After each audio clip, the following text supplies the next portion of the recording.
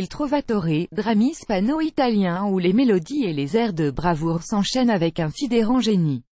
Charles Duprat, ONP Il y a dans l'œuvre une force, une puissance et une évidence qui en ont aussitôt fait un classique.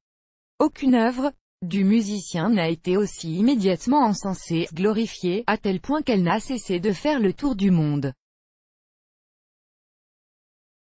Certaines œuvres transcendent à tel point leur sujet qu'elles en deviennent immortelles. Tout comme on ne cessera de trouver filandreuse. L'intrigue du faucon maltais, le livret du Trovatore, Trouvert, a souvent provoqué des ricanements embarrassés. Coup de théâtre poussif, ressort. Laborieux, personnages excessifs, tout y passe. On a même coutume de considérer cette histoire d'enfants volés et de quiproquos tragiques.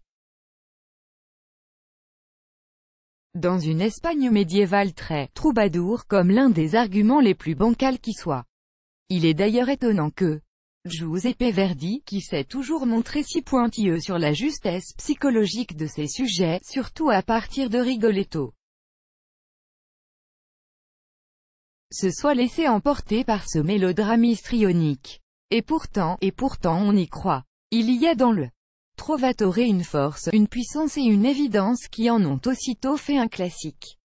Aucune œuvre du musicien n'a été aussi immédiatement encensée, glorifiée, à tel point qu'elle n'a cessé de faire le tour du monde. Après tant d'années de galères et de fiascos en rafale, le musicien trouvait ici une gloire absolue, comme s'il attendait cet ouvert depuis le début de sa carrière. Aussi, faisons fi du livret et laissons-nous porter par ce flot musical, où les mélodies, les Grands ensembles et les airs de bravoure s'enchaînent avec un sidérant génie. Charles Duprat, ONP a touché d'œuvre, tout honneur, lent. Trovatore exige des gosiers d'airain et les plus grands chanteurs du monde s'y sont attaqués. Pour la production signée Alex Olé, qui arrive sur la scène de l'Opéra Bastille, après être passé par Amsterdam et Rome, pas moins de trois.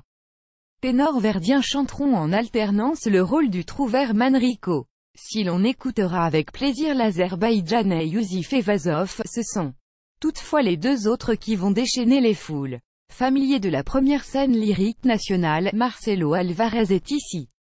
Dans son jardin, le ténor argentin connaît son Verdi sur le bout du timbre et il lui confère une sorte de virilité bravage qui convient parfaitement au Trovatore, mais ce sont sans doute les soirées des 25 et 28 juin où les mélomanes vont se bousculer, Roberto Alagna vient y reprendre un rôle dans lequel il brille depuis de nombreuses années.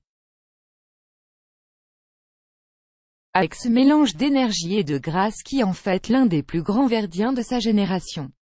L'heure côté, une distribution, très internationale défendra les couleurs de ce drame hispano-italien, le comte di Luna de Gelcolucci, puis Vitaly Billy, la Leonora de Sondra Radvanovsky, puis Jennifer Oley, la Zousena d'Anita Rachvalishvili, puis Ekaterina Semenchuk.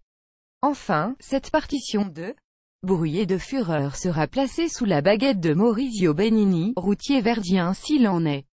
Et maintenant, place au drame, le Trouvert Opéra Bastille Place de la Bastille 12e, tel, 08, 92, 89, 90, 90, date du 20 juin au 14 juillet à 19h30. Place, de 5 à 198 euros.